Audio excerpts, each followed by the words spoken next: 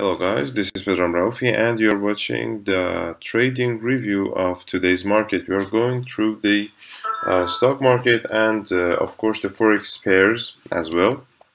And at the end of this uh, program we are going to see what is going on with the uh, cryptocurrency market prices and the, the cryptocurrency uh, pairs as well. Uh, mostly the news background of the market haven't changed for past uh, few weeks. As you know, the Federal Reserve System is not going to hike the interest rate. It's not going to uh, make the monetary policy more tighter. And uh, Janet Yellen yesterday actually told us, uh, she's a Treasury Secretary, that uh, the high inflation is acceptable actually for now, but it would be acceptable, for example, more lower about uh, after 2022. After 2022, it would get more lower. So uh, now actually you have to know that dollar prices could really be under pressure. And uh, of course, S&P 500 could really continue to continue to rise, but uh, the situation which we have here uh, for S&P 500 for now, it's kind of correctional. Maybe we are actually observing uh, lowering or shrinking of volatility.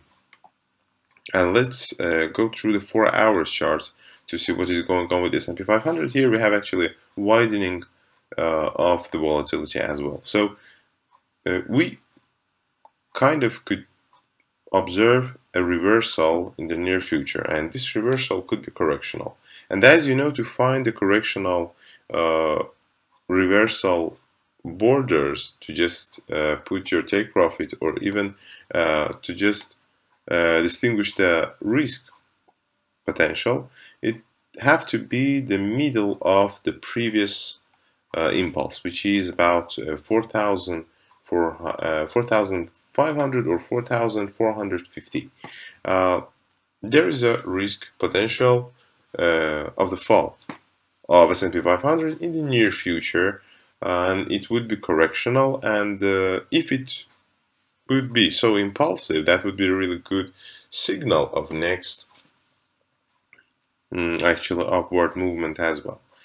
Uh, so here, here's the situation which we have and uh, as you know the opposite correlation of the United States dollar to S&P 500 exists and um, dollar prices now are kind of testing a mirror level which is about 94 94 and uh, in the daily chart we have a kind of uh, stop of downward movement about four previous days five previous days. And uh, this stop of the downward movement maybe could continue in the near future. So maybe we could have an impulsive retest of the mirror level of 94 or 94.10 or 15. So uh, actually we kind of know that the probability of uh, S&P 500's correctional downward movement and dollar prices correctional correctional upward retest uh, of the uh, local resistance is kind of exist, it's high. And um, due to the economic calendar of today's at 2 o'clock by G uh, by GMT we have uh, consumer confidence which is inflational uh, release and uh, new home sales which is kind of rising but inflation shows that uh, in the short term, maybe it's going down. So uh, this factor as well would be bad for dollar prices during the day. So to find uh, trading solutions during the day, we have to actually look through the 4 hours chart, 1 hour chart, or maybe even 15 minutes chart. So uh, let's see what we got here for S&P 500 due to the 4 hour chart. And we're going to change our scale. We're going to go lower lower and lower to find some trading solutions for day traders. Uh, one hour chart. We have a stop here actually.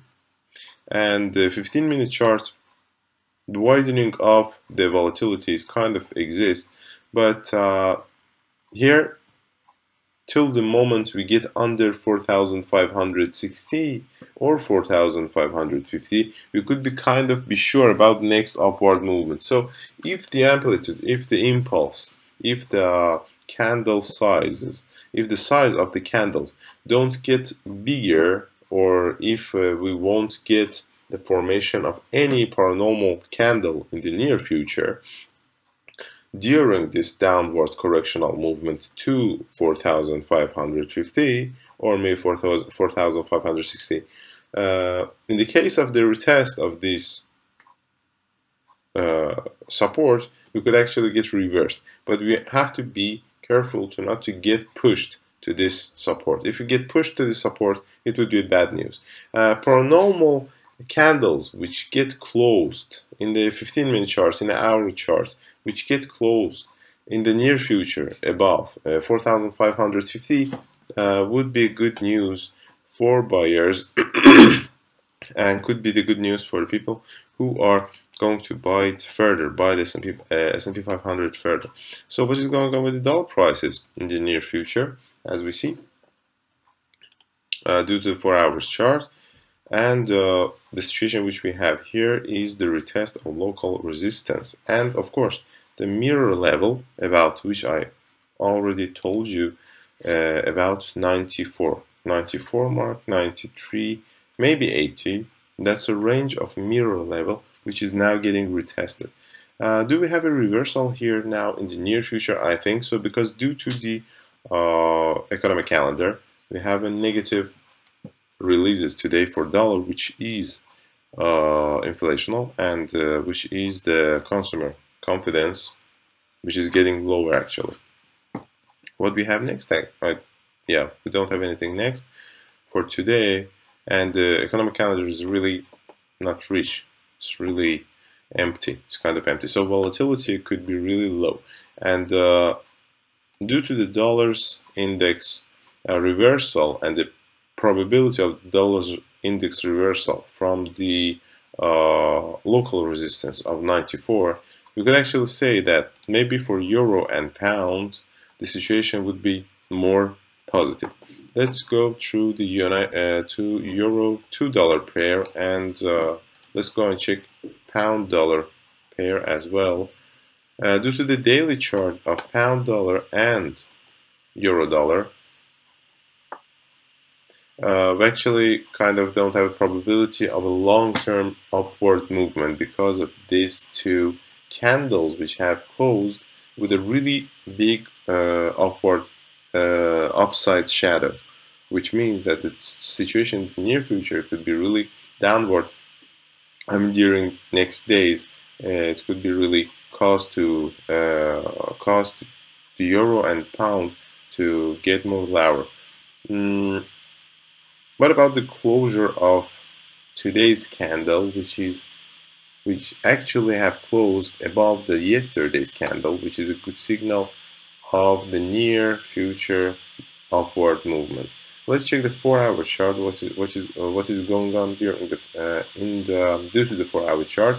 We actually have a retest of local support here, and uh, the accumulation here could really mean that prices could get maybe even lower. But for buyers here and uh, for the bulls, we have a really low range of the risk, which could actually, uh, which we could take, just take, and uh, which is about 1.50, I'm sorry, 1.1570, 1.1580, and uh, it would be about 1.1580 to 1.5070 is a good range of risk if we choose it and if you start to buy maybe if we get uh, the impulsive retest of this local support after that after the retest of this local support we could get uh, pumped again because of the previous really uh, long and paranormal uh, candle which have been which actually retested this local uh, support. So here's a signal of next uh, upward movement in the euro. And about pound upward movement is actually continuing even due to the daily chart. And uh, let's look through the four hour chart.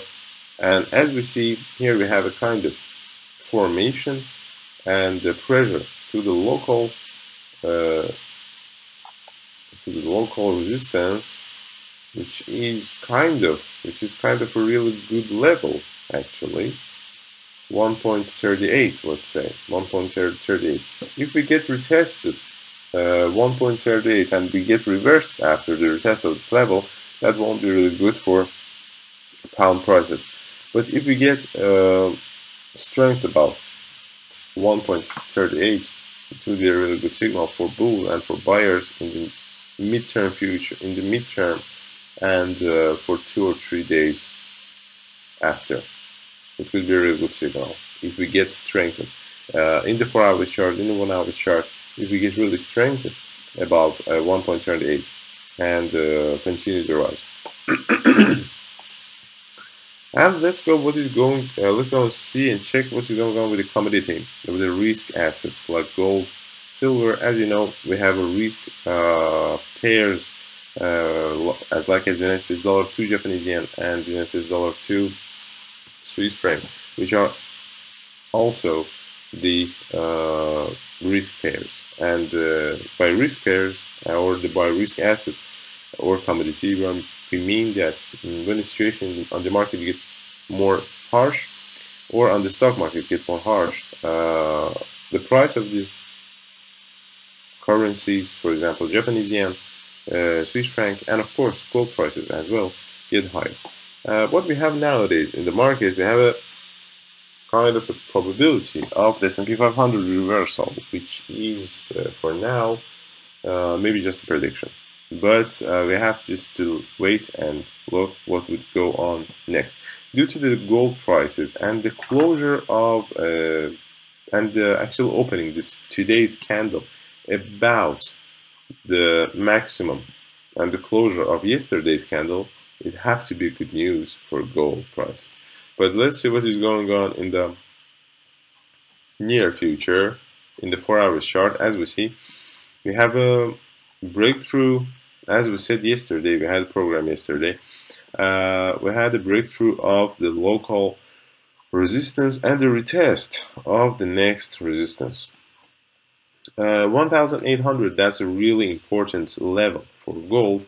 And if we get strength about about I don't know not exactly above it but just about one uh, 1800 this would be a really good signal for next buyers. But uh, this shadow really makes me uncomfortable for buying.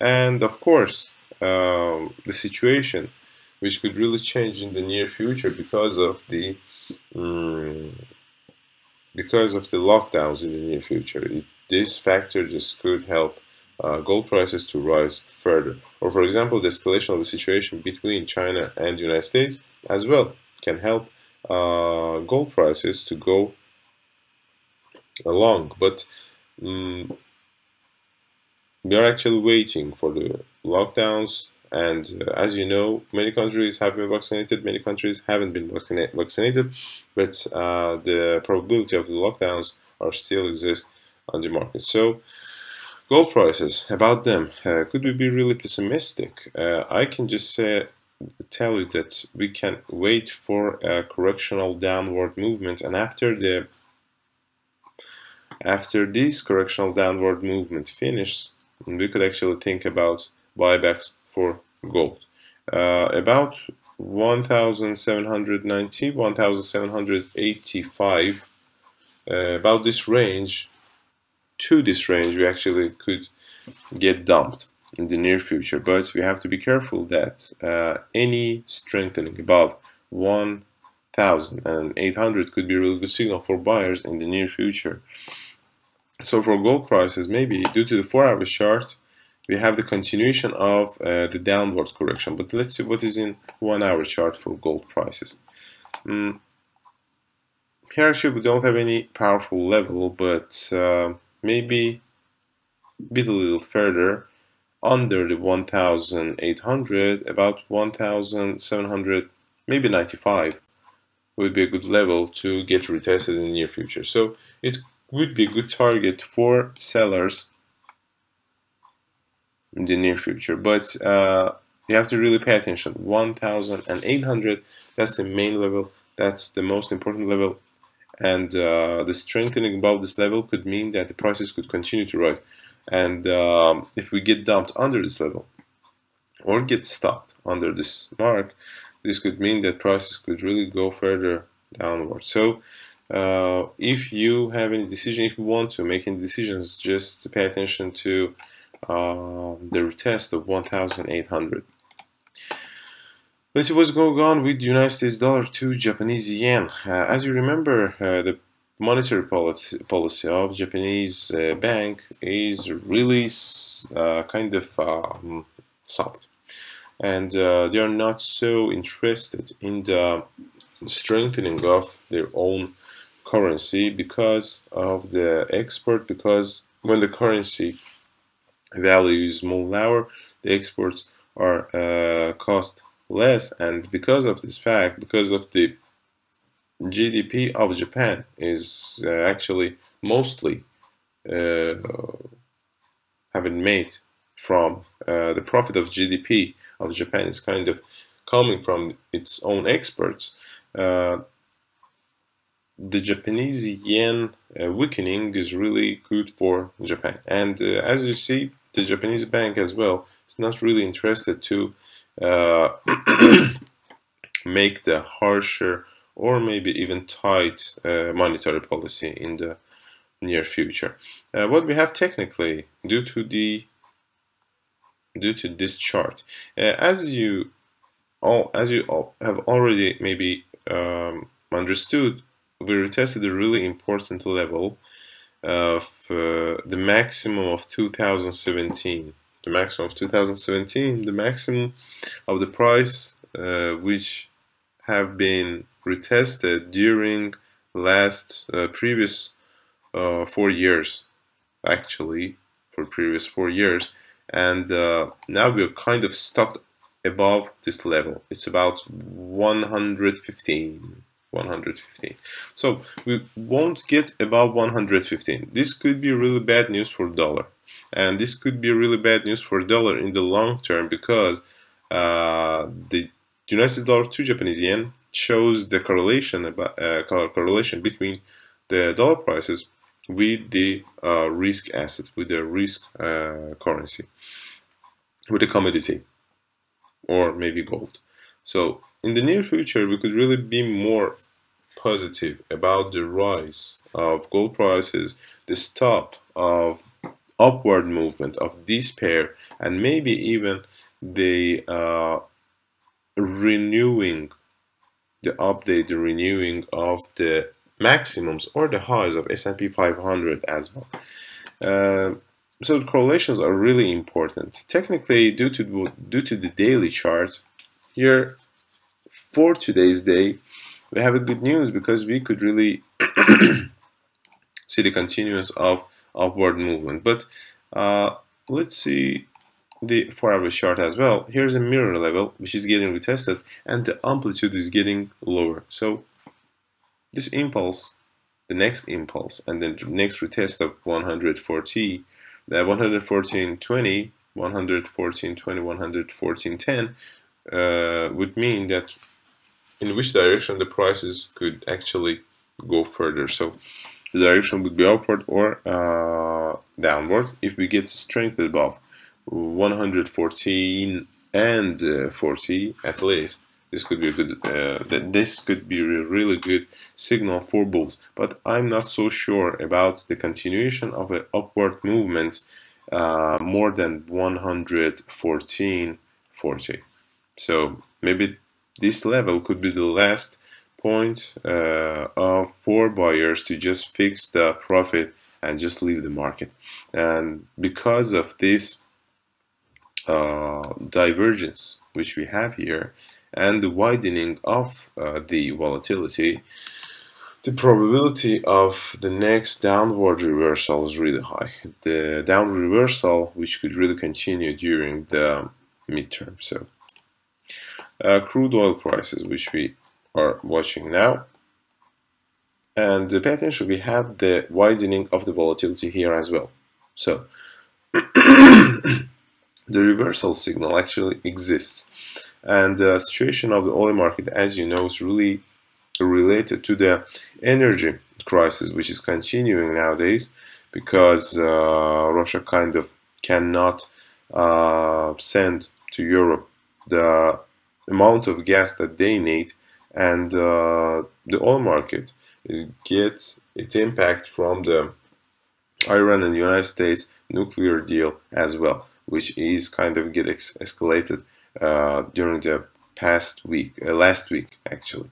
Uh, this candle, this downward candle which we have here daily, is a, it was a real good signal from yesterday for sellers to just start sell, sell, and sell. Uh, due to the 4-hour chart, as you see, we have the continuation of downward movement, but the channel which is here exists is kind of tell us that maybe the downward movement could get uh, could get uh, stopped uh, after the retest of the $82.60 or maybe $82.80. So here we actually have a good signal of the breakthrough of local support. But uh, this kind of amplitude and uh, lower the loaning, uh, the lower uh, impulse which we have here, uh, the impulse actually getting lower, and uh, this factor could mean that maybe this is this is actually a breakthrough after which we get we get just retest the local support and next we kind of start to rise again. Uh, that's the first part but historically about this support what we can say historically price retest this support and mostly and mostly it gets stuck under it during the last week if you can say so if we get stuck under this level, under 83 maybe. This would be a good psychological level. Under 83, till we get stuck, uh, till we uh, we are actually located above this level, everything is could be okay. And the impul impulsive retest of this level would be okay as well. But if we get stuck under this level, uh, this would be a really bad signal. And you have to pay attention. If we get stuck uh, after the after the formation of a really long or paranormal candle, bearish candle under this level, this would be the uh, signal of just a speculation, of just a bearish speculation, uh, and after that we could kind of we could kind of uh, get involved in a in an upward continuation of the movement. So be careful how we are going to retest this local support. If we get retested really impulsively, this could be the sign of next upward movement. And uh, if we get stuck uh, under it hmm, due to the one hour chart candle formation or due to the four hour chart candle, candle formation, if we get stuck under it, uh, this would be a good signal of the next downward movement continuation in the midterm. And uh, United States dollar to Canadian dollar, as you know, Canadian dollars uh, has a correlation with oil prices, and when oil prices get pumped, the United, the Canadian dollar uh, actually rise, and when the oil prices get dumped, uh, the Canadian dollar falls. And for this pair, the United States dollar power, which is kind of getting weak, kind of it's kind of weak, and it's kind of started the reversal movement from the uh, from the top of the market and uh, due to the crude oil prices which is kind of as well getting down from the top of the market the price of United States dollar to Canadian dollar could continue the consolidation. So when the price of two uh, parts of one pair are both rising or falling in one moment in uh, in one moment in one week. It could be continued uh, to during a month or maybe just a day. When they are both rising or falling the price of the pair could continue the consolidation. Uh, what we have here due to the daily chart a very beautiful signal of a reversal. But uh, let's see what exactly we have due to the 4 hour chart which is a less bigger scale. And uh, if you pay attention, if you pay attention, we had a really important and mirror level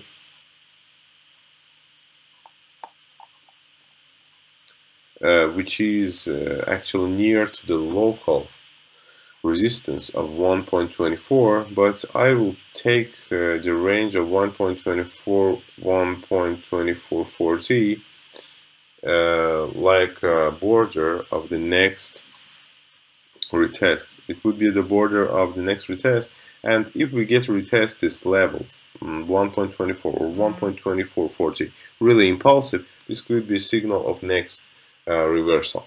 If we get uh, strength above these levels and above this range, this could be a really good um, signal of a next dollar price rise to Canadian dollar.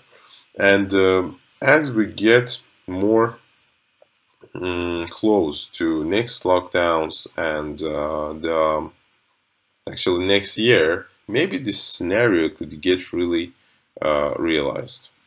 So in the long term, maybe this reversal could mean something, but in the short term, this reversal could really get um, could really make uh, bulls and buyers uh, kind of disappointed. So uh, we need to just look at this uh, reversal signal as a long-term signal or maybe mid-term signal. Due to the Bitcoin and uh, Ethereum prices, as we see, the widening of volatility is continuing. For Bitcoin, let's look what is going on due to the daily chart. We had retested the $60,000. We had retested the $60,000 and now we get stuck above this level. Uh, we could actually get more lower because the amplitude is really low and the energy is kind of the energy of upward movement is really low as well. And uh, due to the 4 hour chart, due to the 4 hour chart, and due to the important levels which we have near to the price action, uh, 63,000 and uh, 60,000 is a range which could get retested in the near future. So if we get stopped inside this range or if we get stuck under this range this would be a bad signal of uh, the next midterm downward movement of Bitcoin prices. But if we get impulsively retest this range this could be a really good signal for buyers to continue the buys. And uh, the Ethereum prices here we actually see the opening of today's candle the, uh, due to the daily chart the opening of today's candle above the closure the closure of yesterday's candle, which uh, could mean that prices could really continue to rise. But due to this candle, due to, this shadow uh, from the upper side of the previous week's candle, uh, be, be really sure about next upward movement or next rise of this asset. It's kind of unlogical we kind of uh, can see the shrinking of volatility, uh, which could mean that prices maybe at the near future could get dumped really harshly. And $4,000 is could be a good, a good level to get retested. If we get retest, if we actually retest this level really impulsively, it would mean that prices could just continue the consolidation. And uh, the only signal to start the short positions is the pressure to 4000. If we get pressure or if we get squeezed to the $4,000 uh, level, this could be it's would mean that the prices further could really kind of get dumped and uh, go further. Uh, thank you guys that you watched this video. If you have any questions, you can actually uh, ask about them and write your comments under this video. Don't forget to subscribe on our channel and ring the bell so you would know what kind of programs we have in the future, which you don't actually want to uh, miss. Uh, till next time, guys, have a good tradings and bye bye.